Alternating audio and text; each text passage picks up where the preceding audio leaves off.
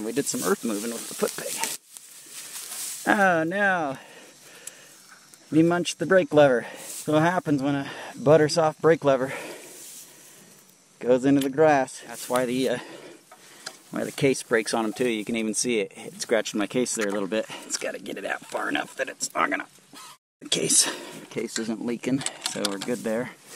Today we're going to be installing some aluminum engine covers on a KTM 690 Enduro.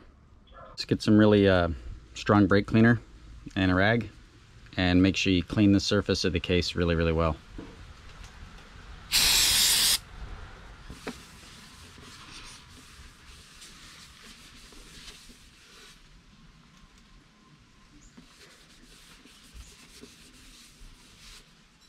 It's probably a good idea to do that on the cover as well, just to make sure there's not any residue or anything.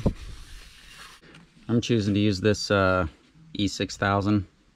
It's uh, just a really strong adhesive, and the reason I did that is because it withstands temperatures up to 180 degrees.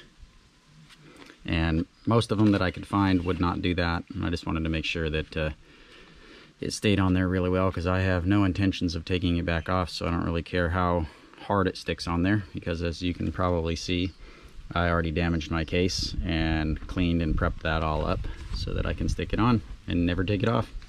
I think I'm going to run three beads. I'm going to run one right on the edge so that nothing falls down inside from the top, water and grit and stuff. I think I'll run one right on the crease and then I'll run a little one through the middle.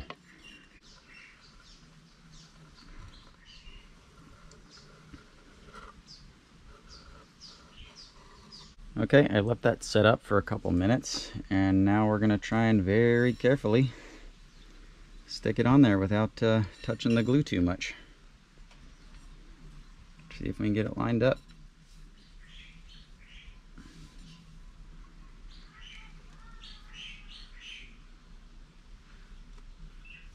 Perfect. Now we'll just let that set up and uh, call it good. Okay, same business on the uh, ignition side. We're going to get a nice clean rag, some good uh, brake cleaner.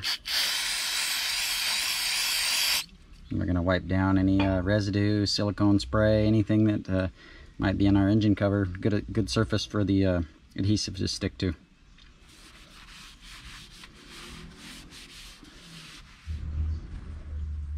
So you can see how much crap came off of there. Uh, honestly, this is probably a little bit of clear coat and you know all kinds of stuff too. But uh, oxidative uh, paint or whatever this bike's a few years old so I'm sure that some of that is uh, actually the uh, surface coating. Brake brake cleaner is pretty tough stuff.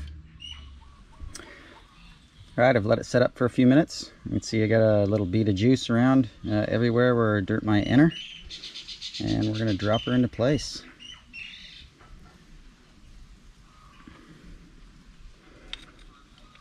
Very, very, very carefully line it up.